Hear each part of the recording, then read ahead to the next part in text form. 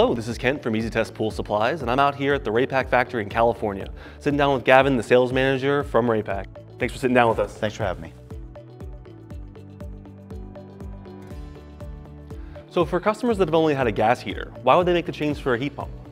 Uh, gas does provide instant gratification when you're heating a pool. Uh, it's very quick, you know, to heat up a hot tub especially. Yep. Pool takes a little bit longer.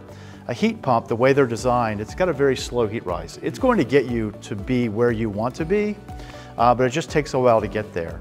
Uh, but if you think about it, the main reason why someone would switch from gas to heat pump is really efficiency of the product.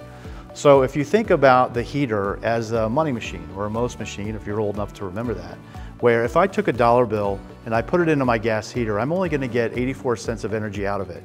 If I take that same dollar bill and I put that into a heat pump, I'm actually going to get $6 back in usable energy. Uh, that's a very strong consideration, especially today with electrification occurring in the country. Uh, there are neighborhoods out there that only have electricity, uh, but if you live in one of those neighborhoods or you're just concerned about sustainability, I think a heat pump is a, is a perfect product for you. Gavin, thank you so much for talking with me today. Thank you for having me. Awesome. And uh, for more information on heat pumps or heaters, check out our website, eztestpools.com, and thank you for watching.